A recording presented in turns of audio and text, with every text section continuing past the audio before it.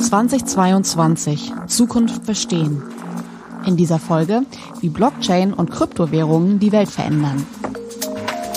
Zu diesem Podcast gibt es eine völlig neue Möglichkeit für Sie zu reagieren. Einige Zeit nach jeder Folge führen wir ein Live-Gespräch über das Thema und die Sendung selbst mit dem Publikum, also mit Ihnen.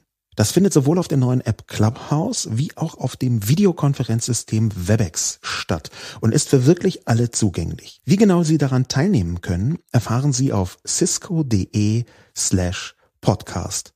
cisco.de slash podcast. Guten Tag und herzlich willkommen zu 2022 Zukunft verstehen, wie Technik die Welt verändert.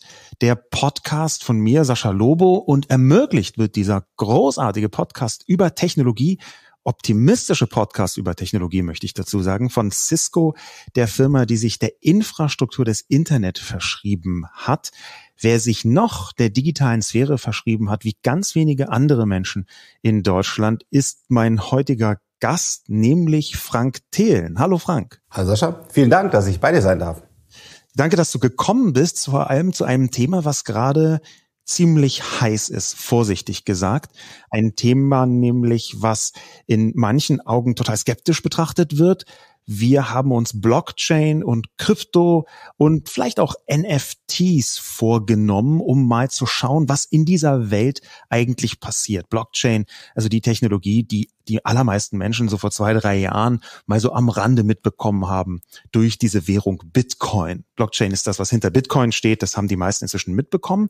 Aber da ist in dieser Welt in den letzten zehn Jahren, kann man eigentlich sagen, Unfassbares entstanden. Und interessanterweise, das äh, hast du auch ein paar Mal geäußert, Frank, ähm, sehen noch immer sehr viele Menschen, sogar digital affine Menschen in Deutschland und in Europa nicht das Potenzial, was hinter diesen Technologien steht. Boah, ich muss auch selber sagen, ich, ich selber habe auch echt so lange äh, gebraucht, um das zu verstehen. Ähm, es ist ein tolles, ein kompliziertes, ein verrücktes Thema. Man kann von so vielen Seiten drauf gucken. Ähm, und ja, und es ist schade, dass, dass, dass viele äh, das noch nicht sehen. Ähm, vielleicht kann ich kurz noch meine, meine Reise auch ähm, ähm Auf jeden Fall. erklären. Also Sehr gerne. Ich, ich war, ich war, ähm, also das erste Mal habe ich auch von Bitcoin gehört, muss ich, muss ich gestehen. Vor, ich weiß, zehn Jahren oder so, ich bin schlecht äh, so Zeitgefühlen. Und äh, damals habe ich dann gesagt, okay, dann habe ich mir das angeguckt, habe ich es analysiert und habe ich gesagt, okay, diesen Bitcoin, den Scheiß braucht kein Mensch, also das ist, das ist nicht interessant, aber diese Blockchain dahinter, dass man quasi dezentral das erste Mal eine Datenbank baut, wo man den Daten an sich, also die da gespeichert sind, nicht den Inhalten, aber der Speicherung der Daten vertrauen kann, weil über ein Netzwerk ein, äh, ein Konsens gefunden wird, das verteilt ist, nicht mehr zentral. Da habe ich gesagt, wow, das ist ein ganz tolles Thema. Und habe dann gedacht, ähm, ja, Blockchain, Distributed Ledger, also ist ja nicht alles Chains, gibt es auch Trees und so. Habe mich damit befasst und habe lange gedacht, der Bitcoin, der ist, der ist einfach blöd, weil der ist ineffizient. Ich hasse Ineffizienz als äh, Informatiker und ähm, und deswegen hab, und der verbraucht ganz viel Energie. Heute habe ich einen, einen Teil meines meines Vermögens in äh, in Bitcoin und habe so langsam verstanden, wo die Leute damit hinwollen, nämlich die sagen, wir wollen eine Alternative zu den Zentralbanken, nicht nur der europäischen, sondern auch den Dollar, Fed und, und auch äh, alles, was sonst an Währung gibt, weil die so viel drucken, denen wir vertrauen können, der 100% digital und unabhängig ist und wo zum Beispiel die Anzahl der Coins, also in dem Fall Bitcoin, bei uns Euro oder Dollar, ähm, beschränkt sind und haben einfach gesagt, das ist unser Wertespeicher. Und das Bitcoin-Netzwerk ist am längsten da, am stabilsten, hat dieses Proof of Work, können wir auch gleich darüber diskutieren, was ein Energieproblem ist. Ähm, aber ich habe verstanden einfach jetzt, dass das quasi der, der Geldspeicher ist und damit wird es dann auch wieder ähm, interessant. Bin aber viel, viel begeisterter von zum Beispiel Ethereum oder möglicherweise Cardano. Ich weiß, das ist noch sehr jung oder was da auch immer kommt. Das quasi dieser ähm, verteilte Computer. Also äh, Bitcoin ist einfach eigentlich ja, nur ein toter Wertespeicher, aber ich verstehe, warum die Leute es jetzt verwenden. So, und jetzt ist der richtige Moment, um die Leiterin unseres Rechercheteams, Juliane Wieler, zu bitten, in die Top 3 der Technologien rund um Blockchain einzusteigen, die die Welt am meisten verändern werden. Juliane? An Platz 3 findet sich das, was im Moment am meisten im Gespräch ist, aber tatsächlich nur die sichtbare Spitze des Eisbergs sein dürfte. Denn Platz 3 sind Währungstechnologien wie Bitcoin, Ethereum oder Dogecoin. Bitcoin ist ja nur die bekannteste von einigen tausend Digitalwährungen und handelbaren Token. In der Öffentlichkeit werden meist nur die Spekulationen um Kryptowährungen besprochen. Aber was neben der Wertspeichereigenschaft mittelfristig am wichtigsten sein dürfte, sind Währungen mit speziellen Funktionen, mit denen zum Beispiel Maschinen untereinander automatisiert bezahlen können. Als Privatperson und innerhalb eines Landes oder der EU vergisst man das leicht. Aber noch immer existiert ein großer, sehr teurer und schwerfälliger Apparat an Institutionen und Unternehmen, wenn man international Geld transferieren möchte. Kryptowährungen können dieses Problem lösen und auch die Macht von Banken, Zentralbanken und Plattformen begrenzen. Ja, da ist vielleicht exakt der richtige Moment, damit ich auch mal so ein bisschen meine Genese dazu äh, mitteile. Ähm, das ist ein bisschen traurig, ehrlich gesagt. Also aus meiner eigenen Perspektive. Für andere ist es vielleicht sogar eher lustig, weil ich sehr früh das erste Mal von Bitcoin und von Blockchain gehört habe. Und ich habe damals genau das getan, was ich sehr oft tue, wenn ich nämlich eine neue Technologie, die ich noch nicht ganz verstehe, aber von der viele Leute irgendwie schwärmen oder irgendwie so eine eigenartige Faszination sich transportiert. Wenn ich davon höre, dann gehe ich zu Leuten, die davon Ahnung haben von diesem Feld und unterhalte mich mit denen. Und jetzt ist etwas passiert, was wirklich lustig ist und traurig zugleich, weil ich tatsächlich überlegt habe, mal so ordentlich Bitcoin zu kaufen im Jahr 2011. Also sehr, sehr früh. Ich bin dann zu Leuten gegangen, von denen ich dachte, das ist eine Kryptowährung. Ich kenne Leute, die machen Kryptographie. Na, das wird doch so sein, dass die davon Ahnung haben. Ich bin gar nicht auf den Gedanken gekommen, dass das ähm, ungefähr so ist, als würde man zu einem Automechaniker gehen und fragen, wie man am besten Autorennen fährt, um jetzt mal so ein bisschen eine merkwürdige Metapher zu bringen. Ich habe diese äh, Kryptographie-Experten gefragt und was ist denn eure Haltung jetzt zu diesen äh, Kryptowährungen, zu äh, Bitcoin und so weiter? Und die haben fast alle gesagt, nee, das ist totaler Quatsch. Das ist Wangenöl. Ja, das, das kann man überhaupt nicht vertrauen, ist Unfug haben mir dann im Detail erklärt, was ich erst Jahre später verstanden habe und warum das Unfug sei, nämlich, dass natürlich das manipulierbar sei, da müsste man nur 50, mehr als 50 Prozent und so weiter. Also das sind diese bekannten ja. Äh, Mechaniken. In der Tat ist eine der wichtigsten Eigenschaften von Blockchain-Technologien und ähnlichen Technologien die Unmanipulierbarkeit von bestimmten Datenketten, die allerdings tatsächlich zumindest sehr theoretisch aufhebbar wäre, wenn jemand mehr als 50 Prozent kontrolliert. In ja, manchen hier kommst du ins Netzwerk rein und das ist ja genau, genau, der Wert, weil Bitcoin ist so breit verteilt, hat so viele Nodes, dass das eben immer, immer unwahrscheinlicher wird. Ne? Absolut. Und, und das ist aber auch leider nur die sehr traurige, wie schon gesagt, Erklärung, warum ich damals nicht ähm, Bitcoin gekauft habe. Ähm, das, also wie gesagt, für mich traurig.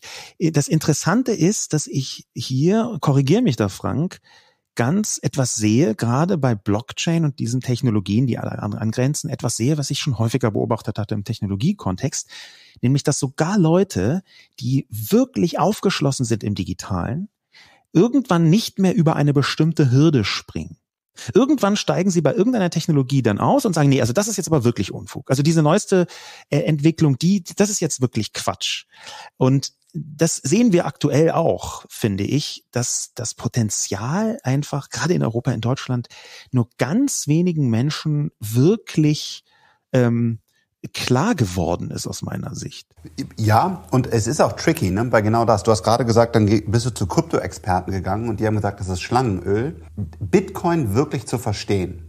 Und ich hatte übrigens auch äh, sehr, relativ viele Bitcoins, habe ich sogar gekauft äh, relativ früh und habe die dann irgendwann. Ist auch eine traurige Geschichte. Ja, genau. Und als sie dann, genau, als sie das dann irgendwann drei vervierfacht haben, habe ich gesagt, komm, äh, super Geld gemacht, äh, raus da. Ähm, weil ich es halt eben nicht richtig verstanden habe. Und dann bin ich jetzt, äh, genau, also wo ich es dann wirklich begriffen habe, ähm, genau, es war dann, war dann bei, bei 10, 10 und 20.000 Dollar und dann habe ich halt einen Teil meines Vermögens, aber dort auch total langfristig und ganz ruhig einfach reingeschoben. Um den Bitcoin zu verstehen, musst du halt eben auch institutionelle Anleger verstehen. Du musst wissen, was macht ein Goldman, ein JP, was macht eine LGT, wie verhalten die sich und, und, und warum kommen da nachher Dinge rein? Oder auch Public Companies werden da noch mehr Teile ihres Balance Sheets in den Bitcoin reinlegen. Du musst die Technologie beurteilen können, weil selbst wenn die das alle tun und die Wahrscheinlichkeit eines technologischen Crashes da ist, bringt dir das auch nichts. Also du musst wirklich bei Bitcoin ganz viele verschiedene Themen verstehen, um dann zu sagen, okay, das Ding wird sich wahrscheinlich durchsetzen und dann wird mit dem Preis Folgendes passieren.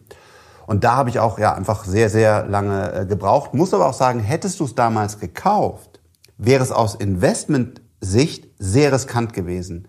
Also ich glaube, na, an diese, an, es ist ja mal hochgeschossen auf 20 und dann wieder so runter auf 10.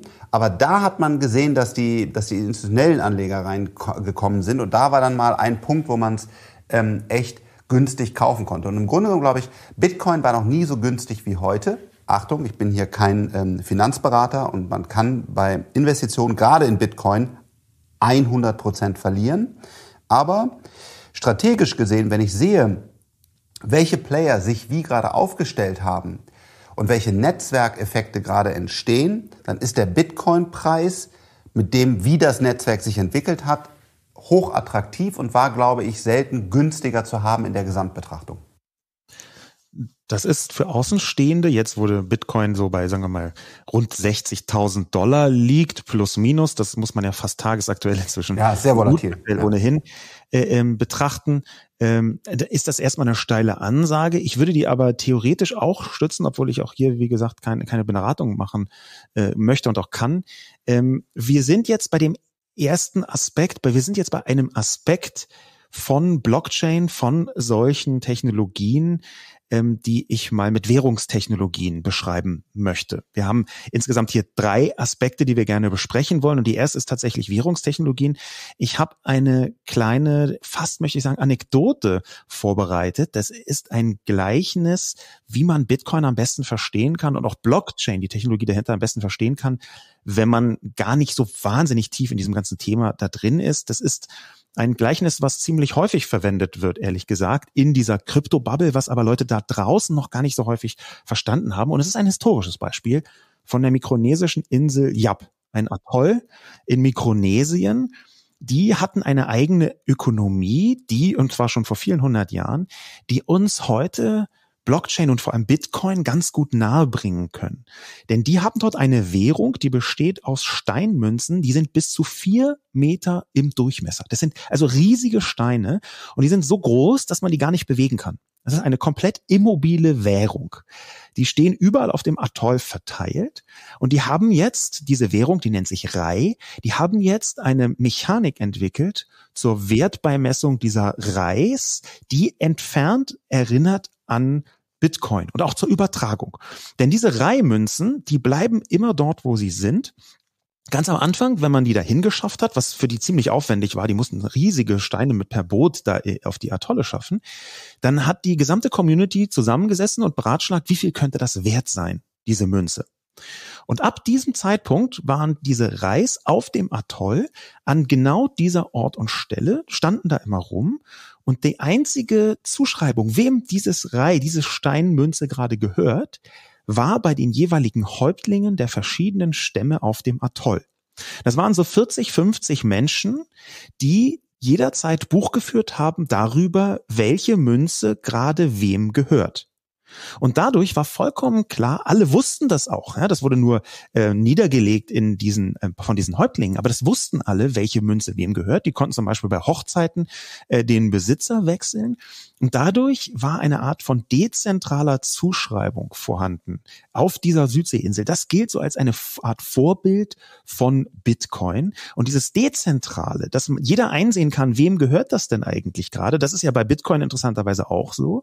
Das Dezentrale, diese Blockchain-Mechanik, die dahinter ist, die funktioniert eben noch für viel mehr als Währung. Wobei Währung im Moment, das Kryptowährungsthema, das wir gerade haben, das ist schon mit die größte Anwendung, die wir, die wir da vorhaben. Ja, absolut. Ja, aber ähm, witziger, genau, das Beispiel habe ich auch äh, genau in meinem Buch Startup DNA verwendet, weil ich glaube, damit kann man die Leute so ein bisschen ranführen, was ist eigentlich die Idee. Und wenn man aber noch tiefer reingeht und sagt, wie funktioniert eigentlich ein Euro oder ein Dollar, dann ist es auch gar nicht so verschieden. Also ich, ich will jetzt keine, keine Panik machen und sagen, alles bitte in Bitcoin.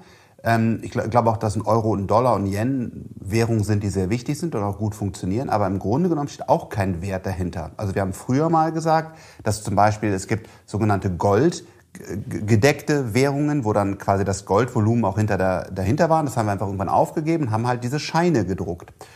Und ähm, welcher Wert dahinter steht wirklich, ist einfach nur, weil wir daran glauben. Und ich glaube sogar, das ist auch okay. Ähm, und das, das Gleiche gilt aber übrigens auch für Gold. Gold hat ja auch keinen Wert. Also die Ohrringe oder so, wenn, wenn jetzt irgendwie sagst, der Goldpreis fällt stark, dann kannst du ja nicht zu Dior, Dior oder keine Ahnung, oder wie die da alle heißen, irgendwie gehen und sagen, ich hätte jetzt gerne mal die Ohrringe für die Hälfte. Also das ist ja entkoppelt von dem kleinen, irrelevanten Echt-Ansatz von Gold, hat ja damit auch nichts zu tun. Das heißt, Gold ist auch nur Glaube. Und darüber zu springen und zu verstehen, dass man einfach Wertespeicher braucht, weil wir den Bedarf haben, wie auf dieser Insel was du gerade erzählt hast, dass Werte gespeichert werden können. Genau das ist ein Euro und Dollar und halt auch ein Bitcoin. Was ich jetzt interessant finde, ist nicht nur, ähm, dass wir mit sowas wie Bitcoin ähm, eine Währung haben, die ohne zentrale Instanz auskommt und deswegen nach anderen Mechaniken funktioniert. Sie funktioniert auch nach bestimmten Mechaniken, das ist vollkommen klar. Ähm, das ist quasi gewissermaßen einprogrammiert in das jeweilige Protokoll, wie bei Bitcoin, auf dieser Blockchain-Technologie basierend. Aber wir haben keine zentrale ähm, Bank mehr, die das Ganze kontrolliert. Und dieses, dieses Nicht-Kontrollieren ist ja bei den Kryptowährungen gerade etwas, was ganz viel diskutiert wird, bis hin dazu, dass Leute das für kreuzgefährlich halten. Also klar, das, äh, das kann man so sehen. Auf der anderen Seite kann man auch sagen, ähm, ist es nicht besser, wenn wir alle genau wissen, worum es geht und so, so ein Bitcoin nehmen wir wieder Bitcoin als Beispiel, so ein Netzwerk ist halt, hat ganz klare Regeln und wir wissen halt, wie viel Bitcoins gemeint werden, was kostet, die von A nach B zu schieben und so weiter. Da kann halt eben keiner reingreifen. Und ähm, ehrlich gesagt, philosophisch finde ich das besser. Also wenn, wenn jetzt sagst, finde ich das gut, dass es eine Zentralbank gibt oder Politiker oder so, eigentlich finde ich das gut, dass der Code klar ist, der ist so und das gilt dann auch für alle und das finde ich gut. Ich persönlich finde das auch gut. Es wird ähm, äh, aus meiner Sicht äh, gibt es erheblichen Weiterentwicklungsbedarf, was Kryptowährungen angeht. Das, wir sind auch in einer Findephase, muss Total. man dazu sagen. Wir sind jetzt erst dabei, rauszufinden, welche Ansätze überhaupt so richtig funktionieren. Es wird äh, relativ oft gespottet, auch von durchaus sachkundiger Seite, also digital sachkundiger Seite. Es gäbe gar keine Use Cases, es ist einfach falsch. Das ist einfach wirklich äh, faktisch falsch. Es gibt noch nicht Milliarden-Business außerhalb von ähm, so Kryptowährungsspekulation. Und dieses, was rund um Spekulation ist und Währungsaustausch, das macht einen gigantischen Teil aus. Das muss man auch dazu sagen. Mhm. Aber das, was dahinter steht an Technologie und vor allem an einer bestimmten Form von Haltung, das halte ich auch für ziemlich essentiell. Da, was da eigentlich nämlich passiert, ist, dass sich dass äh, die, der Ansatz der Dezentralisierung in Bereiche rein erstreckt, in denen das vorher nicht war. Hier folgt nun der zweite Platz der Top 3 Technologien, die ich mit meinem Rechercheteam als die wirkmächtigsten rund um Blockchain herausgefunden habe. Dezentrale Verifikation und Datenspeicherung.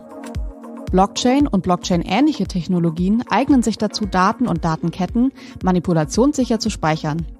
Zum Beispiel indem jede Transaktion in einer Blockchain gespeichert und sofort an vielen Stellen veröffentlicht wird. Durch das Internet ist ein völlig neues Problem aufgetreten. In einem Netzwerk muss man Vertrauen zwischen zwei unbekannten Teilnehmern herstellen können, etwa um Handel zu treiben. Bisher wird das über zentrale Institutionen wie Plattformen geregelt. Blockchain-Technologien bieten hier eine Alternative. Hier können alle Daten wie die Bedingungen einer Transaktion gespeichert und umgehend veröffentlicht werden, und zwar an so vielen öffentlichen, einsehbaren Orten im Netz, dass es praktisch unfälschbar und unlöschbar wird. Wir haben jetzt eigentlich eine neue Form von Vernetzung mit dabei. Nicht nur das Internet über diese inhaltliche Vernetzung, sondern wir haben jetzt eben auch eine Vernetzung über Blockchain und Blockchain-ähnliche Technologien. Und was ich daran besonders spannend finde, sind Währungen, die bestimmte Funktionen eingebaut haben. Es gibt inzwischen über, also viele tausende äh, Kryptowährungen und manche haben ganz konkrete und bestimmte Funktionen eingebaut. Äh, absolut. Und das ist für mich das Holy Grail also dieses ähm, äh, äh, Decentralized Finance, also eben nicht mehr, dass ich eine Deutsche Bank habe oder eine Volksbank oder welche Bank auch immer, sondern dass ich sage, ich laufe auf einem Distributed Ledger, also einer modernen äh, Blockchain. Und dort gibt es Gesetze, die in Software geschrieben sind, sogenannte Smart Contracts, also diese, diese Verträge. Hey, äh, wenn das Unternehmen mehr als 100 Millionen wert ist, dann kriegst du zwei Millionen Gewinnbeteiligung. Oder hey, du bist jetzt daran beteiligt als Mitarbeiter, deswegen, was auch immer, was wir halt sonst den ganzen Tag irgendwie als Vertrag unterschreiben, oftmals noch beim Notar vorbeitragen.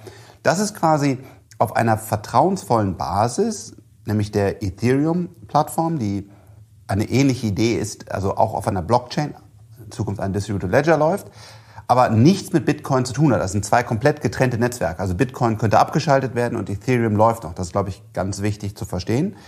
Und das ist halt eine Plattform, die sehr, sehr aktiv ist. Also alle Blockchain-Anwendungen oder nicht alle, viele, viele der, der größeren Anwendungen, auch äh, NFTs und, und was es da alles gibt, die laufen alle auf diesem einen Netzwerk, nämlich dem, dem Ethereum-Netzwerk. Und wir kennen den Gründer und Macher, auch ein großer Unterschied zu Bitcoin. Das ist ja ein Mysterium. Also wenn du das besser weißt, äh, Sascha, gerne. Ich weiß ja. nicht, wer, wer Bitcoin äh, gebaut hat. Es gibt den Code und so, aber meines Wissens nach ist der unbekannt. Nakamoto würde ich, würde ich jetzt antworten, aber das ist halt ein, ein Pseudonym. Genau. Ne? So. Und das heißt, und das ist bei, bei Ethereum anders. Da gibt es einen Gründer, ich weiß gar nicht, ob der auch sich CEO nennt, aber der tritt auf und den kann man ansprechen und der, der hat Meinung und, und der, der sagt was. Das ist für mich auch ein ganz wichtiger Unterschied. Ich mag das gerne. Äh, ich, äh, wenn, wenn, wenn da jemand noch aktiv und, und äh, in der Entscheiderrolle ist. Und das wird für mich dass sowas wie AWS, also oder, oder Azure oder was auch immer für Cloud Computing war, so wird das Ganze für, für, für Finanzprodukte, die nicht zentral von einer Regierung oder einer Bank gesteuert sind, wird wahrscheinlich so sieht's heute aus, Ethereum die Plattform der Zukunft werden. Und dann reden wir über, so habe ich Research gehört, weiß ich nicht, 30 Trillion Dollar, also 30 Billionen im Deutschen, die da jedes Jahr an Bankgeschäften und so weiter gemacht werden. Und jetzt stell dir mal vor, das würde wirklich alles auf dieser Ethereum oder auch nur ein großer Teil davon laufen. Dann reden wir auf einmal über eine wirklich entscheidende Sache, so wie äh, AWS heute die Cloud regiert. Und das ist das, warum ich so viel äh, Ether, die Währung, halte, ähm, weil, weil, weil ich da glaube, das könnte so passieren. Das ist echt spannend. Das glaube ich tatsächlich auch. Und im Währungskontext ist, sind, es gibt so ein paar Punkte, die man mit berücksichtigen muss. Ähm, unter anderem wissen die meisten Menschen gar nicht, wie unfassbar teuer und komplex internationaler Zahlungsverkehr sein kann. Ähm, teuer vor allem deswegen, weil da jede Menge vergleichsweise veraltete Institutionen dazwischen stehen, die äh, alle immer die Hand aufhalten. Äh, komplex deswegen, weil es eben nicht so leicht ist, dass man einfach irgendwas, irgendwelches Geld rüber swiftet von A nach B und alles fertig.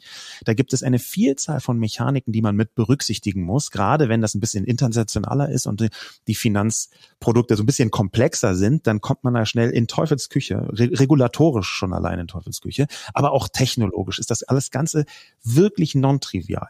Und wenn man berücksichtigt, wie komplex und schwierig und eben auch deswegen teuer das ist, dann sind solche weltumspannenden ähm, Basistechnologien wie Ethereum und das Netzwerk, ähm, das, das damit zur Verfügung gestellt wird, eine echte Erleichterung. Vor allem dann, wenn man Zahlungen vereinfachen, automatisieren möchte.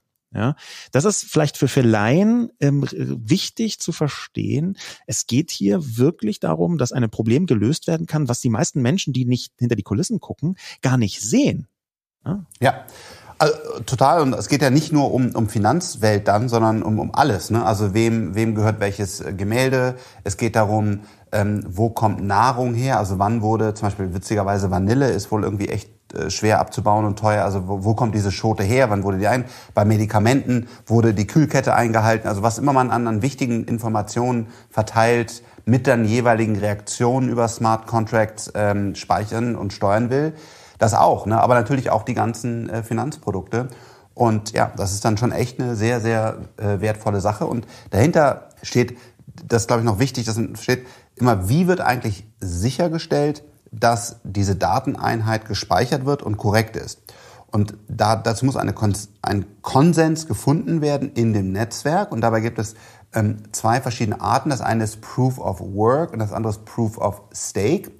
Und dieses Proof of Work ähm, hat einen Nachteil und zwar es verbraucht sehr viel Energie. Und das ist das, was ihr wahrscheinlich schon mal gelesen habt. Äh, Bitcoin verbraucht so viel Energie wie Italien oder, oder was da alles gibt. Und diese Aussagen sind ich weiß nicht, ob jeder einzelne, aber die sind teilweise leider schon korrekt. Da wird eine Menge, Menge ja. Energie verbraucht. Jetzt gibt es die Diskussion, Ähm, das wird immer mehr Green Energy und dadurch, dass dann diese ganze Green Energy gebaut wird, wegen Bitcoin, äh, wird das beschleunigt und da gibt es verschiedene Research Paper. Dazu habe ich keine abschließende Meinung. Aber als Informatiker bin ich erstmal dagegen, dass so viel Rechenleistung da reingeht, wenn man es besser machen kann.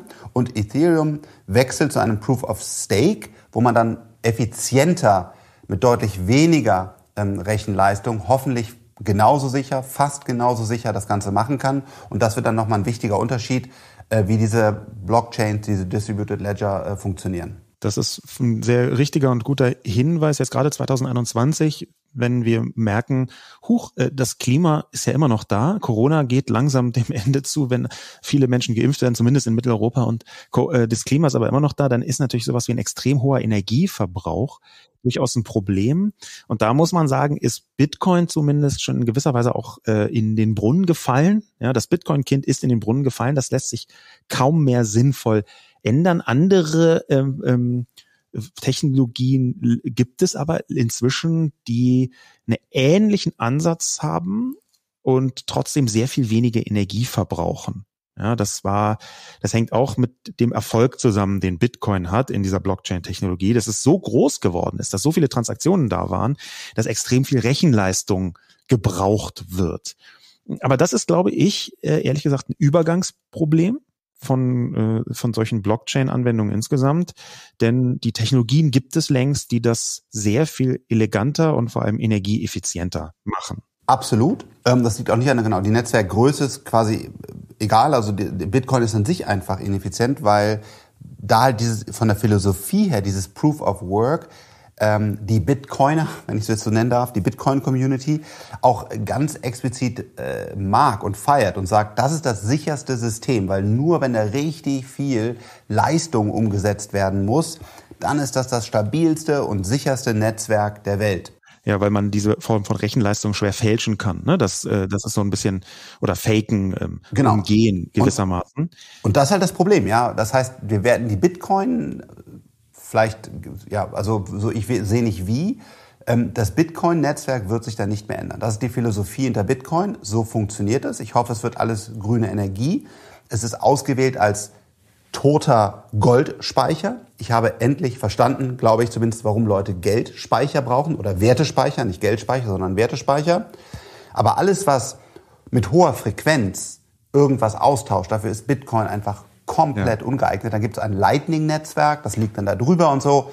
Aber ich glaube insgesamt, wie du gerade gesagt hast, wird es jetzt neue Netzwerke geben, modernere Netzwerke und die werden dann schnelle und viele Transaktionen hocheffizient äh, verarbeiten können. Der nächste Aspekt, der, ähm, über den wir mal sprechen wollen, wo Blockchain eine ganz zentrale Rolle spielt, ist die dezentrale Verifikation und Datenspeicherung. Das grenzt natürlich an das Thema eben an, was Währung angeht, was Bitcoin angeht. Aber es sind jetzt eine ganze Reihe von Anwendungen in den letzten Monaten gerade bekannter geworden, die so dezentrale Verifikation, zum Beispiel was ein Impfausweis angeht. Hätte man gar nicht gedacht. Vor zwei Jahren ja. Impfausweis, hä, egal, komisches gelbes Buch liegt bei mir hinten in einem Karton, hm? das auf einmal hochrelevant sein kann dass man mehr oder weniger überall auf der Welt durch einen simplen Internetzugang verifizieren kann, ist diese Person denn tatsächlich auch geimpft? Wenn ja, wann, wie, wo, mit welcher Charge? Und diese dezentrale Verifikation, die ließe sich natürlich theoretisch und auch praktisch technologisch anders lösen. Natürlich kann man aber hier mit Blockchain und Blockchain-ähnlichen Technologien effizienter rangehen, weil es dann nicht mehr verpflichtend eine zentrale Instanz braucht mit allen Vor- und Nachteilen, die das hat. Und aus meiner Sicht hat es mehr Vorteile. Deswegen glaube ich, die Welt wird sich schon erheblich verändern, wenn wir so dezentrale Verifikationsmechanismen und Datenspeicherungsmechanismen noch besser verstehen und noch mehr Anwendungen in diese Richtung unternehmen. Ja, gerade auch bei der ganzen Regierungsthemen. Das ist ein Impfpass, aber es gibt ja auch einen Ausweis. Äh, ich bin überhaupt erstmal Deutscher. Also wo werden diese, diese Daten äh, verarbeitet? Und ich glaube, wenn man dann sagen würde, man setzt Regierungen auf die Blockchain, auf, auf das ist absolut der richtige, der richtige Weg. Ähm, und ich glaube, Dubai ist da sehr progressiv, ähm, wobei ich die Projekte nicht im Detail kenne.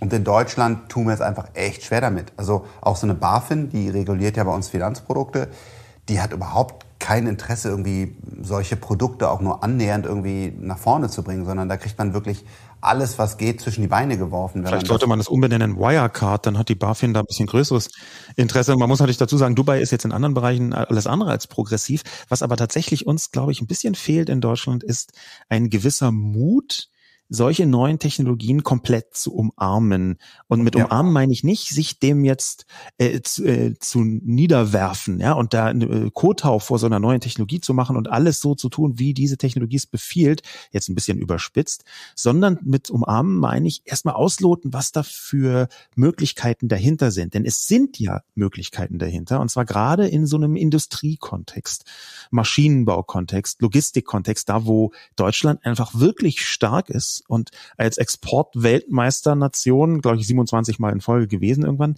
Ähm, inzwischen natürlich China, aber trotzdem immer noch relativ gut dabei, was Export angeht, wäre zum Beispiel so eine Logistikanwendung bei der dezentralen Verifikation und Datenspeicherung aus deutscher Sicht total gewinnbringend. Ja, und wir stehen auch, glaube ich, zu Recht für Vertrauen.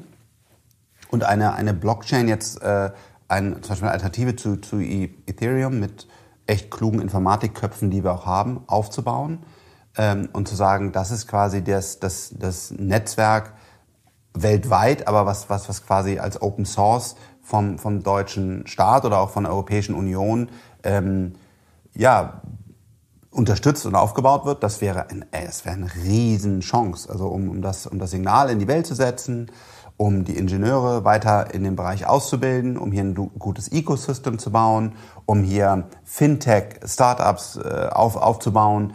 Ja, also super, super gut. Äh, aber es gibt zum Beispiel Thomas Heilmann, der auch, auch Blockchain sehr stark fördert, aber es gibt halt echt wenig Politiker, die das ernsthaft verstanden haben und nach vorne bringen wollen. Da ist ähm, eine ganze Menge von ähm, gedanklichem äh, Hintergrundwork, also so, so eine Basis, eine gedankliche äh, Leistung überhaupt erstmal notwendig, damit man versteht, wo zum Beispiel im Bereich Logistik der Vorteil liegen kann von solchen Blockchain-Anwendungen. Hast du dazu so einen Einblick, den du mit uns teilen kannst? Gerade was, was so Blockchain-Anwendungen angeht, wenn man dezentral unterwegs ist mit äh, so auf, nehmen wir mal Schiffscontainer? Ja, also du bringst damit halt Vertrauen rein. Und gerade so Schiffscontainer, die gehen ja von Hand zu Hand. Und, und manchmal sind auch da nicht vertrauenswürdige Parteien mit dabei. Und wenn man, wenn man jetzt eine quasi damit ja unabhängige und verteilte Datenbank aufbaut und da dann diese einzelnen Blocks äh, sagt, jetzt ist der Container da, hatte die, die, die Kühleinheit äh, lief fehlerfrei durch oder was immer dann die Eigenschaften von diesem Container sind, dann baust du dadurch eine, durch diese Dezentralität äh, Vertrauen auf und, und baust ein, ein intelligentes Netzwerk rein, in dem alle ihre Daten reinspielen können. Und äh, das, ja, das bringt auch bei Medikamenten und bei vielen Dingen einfach äh, große Vorteile, weil halt alle den, den, diesen einzelnen Datenblöcken trauen können, die keiner später mehr manipulieren kann, was ähm, in manchen Industrien leider immer noch passiert, sondern das geht dann halt eben nicht mehr, weil es eine Blockchain ist. Das kann man auch ganz handfest erklären, wie da Dezentralität und Datenspeicherung äh, Vertrauen schaffen kann. Angenommen, wir haben so einen Container, da ist ein Medikament drin, nehmen wir mal an einen Impfstoff, weiß auch nicht, wie ich gerade drauf komme, und der muss halt eine bestimmte Temperatur haben. Und in dem Moment, wo er länger als, sagen wir mal, zehn Minuten eine bestimmte Temperatur nicht mehr hat, ist er einfach kaputt und wertlos, aber man sieht es halt auch nicht von außen. Was würde man also machen? Was könnte man also machen? Man könnte eine Blockchain aufbauen, die verbunden ist mit einem Thermometer in diesem Container und einem Funkmodul. Und Blockchain ist ja nichts anderes als eine Datenkette, die immer erweitert und erweitert wird durch neue Daten und die gespeichert wird und zwar nicht nur auf einem Server, sondern eben weltweit vernetzt auf ganz vielen, zum Beispiel sogenannten Nodes. Da gibt es auch verschiedene Konzepte. Das heißt, ich könnte für jeden Container mit diesem Medikament, der irgendwo rumschwirrt, jederzeit einsehen, war da eigentlich durchgehend die Temperatur ausreichend tief, damit das Medikament noch was taugt. Und ich könnte jederzeit von außen das deswegen einsehen, weil diese neuen Daten immer wieder in das Netz reingefunkt werden, so dass sie auch niemand manipulieren kann. Denn das wäre der Nachteil, wenn man nur eine zentrale Lösung hätte, wenn man einfach ein, so ein Thermometer direkt am Container drin hätte, das so mitschreiben würde und dann ist da eine Festplatte und da wird alles draufgeschrieben, dann könnte man das ja auch auslesen. Aber das wäre eindeutig manipulierbar. Da könnte man ja sagen, hey, hier, das sind äh, 12 Millionen Euro, dafür kann man schon mal so eine Festplatte ein bisschen zurechtschummeln, dass es so aussieht, als sei das natürlich die ganze Zeit komplett kühl gewesen und dabei war es das gar nicht. Das passiert das ja so auch. absolut, genau.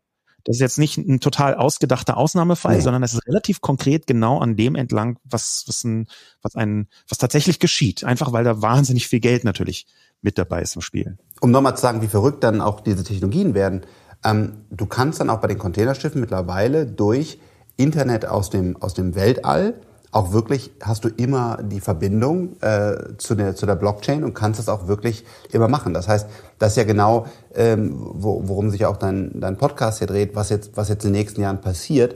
Das ist halt einfach verrückt. Und so eine Blockchain zum Beispiel, haben wir gerade besprochen, neue Technologie, aber jetzt durch Internet aus dem Weltall, was total kostengünstig wird und immer verfügbar ist und auch ganz einfach zu betreiben ist, hast du vor allen Dingen auf einmal auch an jedem Punkt der Welt immer die Verbindung in diese Blockchain.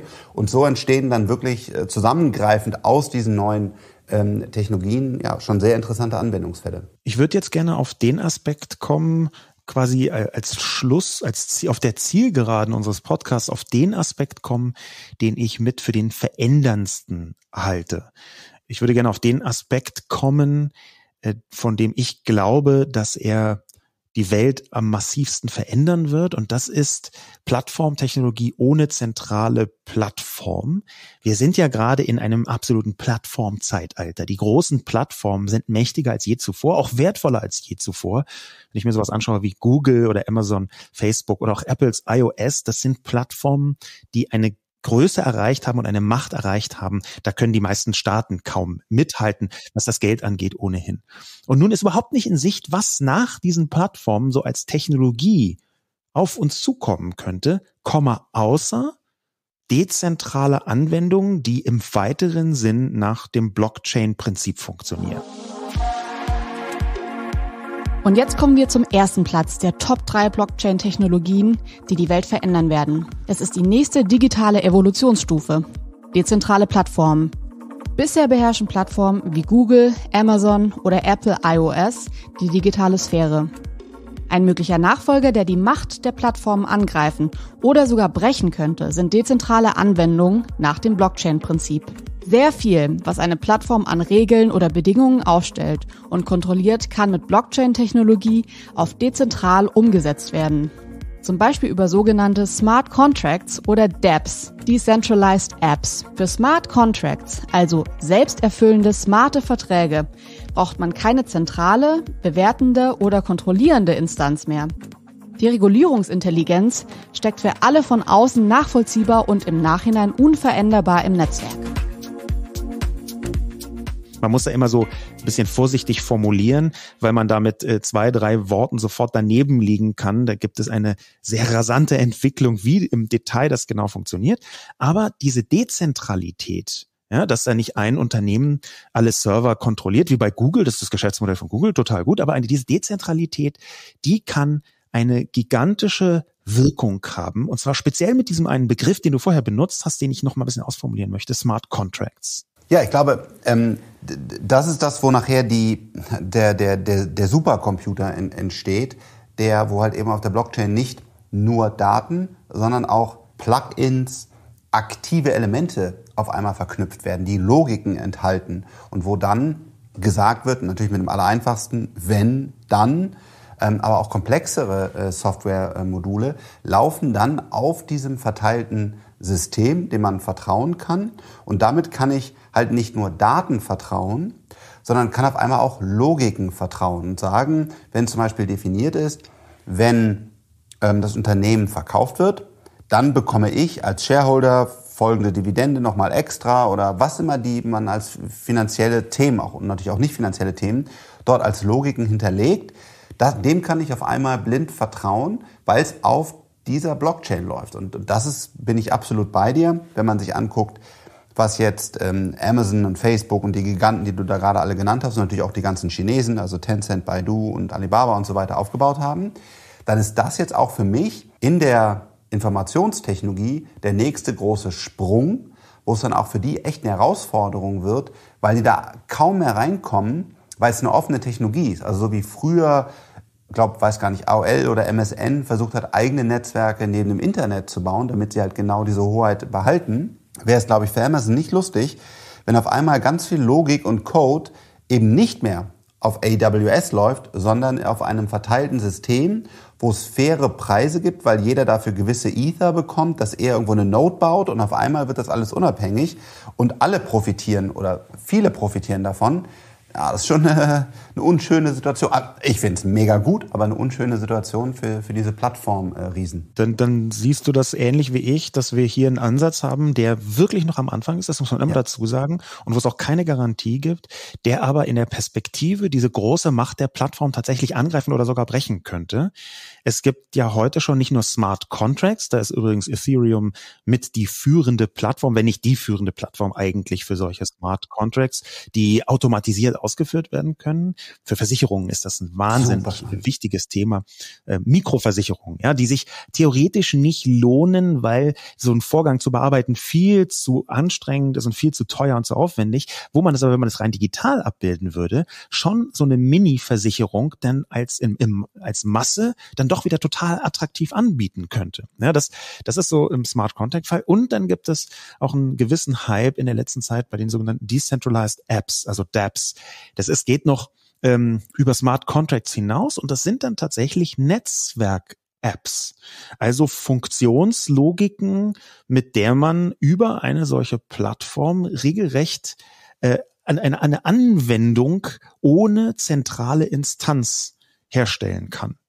Ja, das ist, hört sich noch relativ abstrakt an, ist auch abstrakt. Bis jetzt sind die meisten Dapps einfach, wenn man jetzt mal ganz bösartig sein will, irgendwelche Krypto-Token von irgendwelchen Leuten, die sich gesagt haben, hey, vielleicht können wir mal schnell äh, 5 Millionen Dollar damit verdienen. Ähm, das muss man dazu sagen, diese wahnsinnige Goldrauschstimmung, ja, und viel Quatsch und viel Getöse ist auch dabei. Aber die Intelligenz, die da drin steckt, eine App ins Netzwerk zu transferieren, die halte ich für extrem zukunftsfähig. Ich auch, absolut. Und ich glaube, das ist auch gerade das echt Schwierige.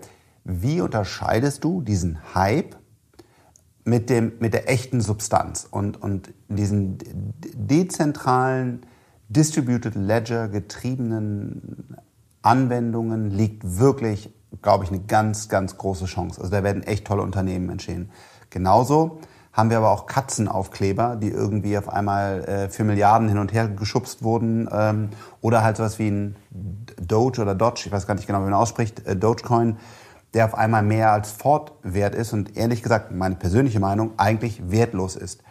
Aber warum ist eigentlich, soll der Bitcoin eigentlich wertvoll sein und das nicht? Also das sind alles echt schwierige Fragen und da gibt es eine Menge Hype und die von der Substanz zu trennen ist schwierig. Aber insgesamt genau das wird hier die nächste große Welle an, an Wert geschaffen. Wer das, dieses neue Game gewinnt, das ist ein ganz, ganz, ganz großer Gewinner. Der wird, man sieht auch jetzt schon bei Ethereum, ich weiß gar nicht, wie groß die Marktkapitalisierung ist, so 300 Milliarden wahrscheinlich schon, schon, wenn man den aktuellen Kurs jetzt wieder nimmt. Aber auf jeden Fall auch schon sehr, sehr groß. 470. Okay, so, so okay. geht ab. Alle Ethereum auf der Welt sind so viel wert. Ja, das ist schon, da merkt man auch jetzt schon, da kann man natürlich auch sagen, da ist eine Menge Zukunft eingepreist, würde ich auch absolut unterstreichen. Aber da merkt man schon, genau, da entstehen jetzt echt große Werte, wenn das, wenn das funktioniert. Ja, Ganz abschließend, ähm, bei in der letzten Folge dieses Podcasts war Saskia Esken zu Gast und es gibt ja eine mittelgroße Chance, dass äh, sie oder zumindest ihre Partei in der nächsten Regierung eine Rolle spielt. Wenn du, äh, ich, ich weiß ja um deine politische Ausrichtung, äh, wenn du gezwungen wärst, ja, ähm, Saskia Esken der SPD etwas zu raten im Blockchain Kontext, wirklich politisch im Blockchain-Kontext etwas zu raten. Was würdest du denn denen raten? Zum Beispiel auch deinem, ich glaube, fast Lieblingskanzlerkandidaten Olaf Scholz.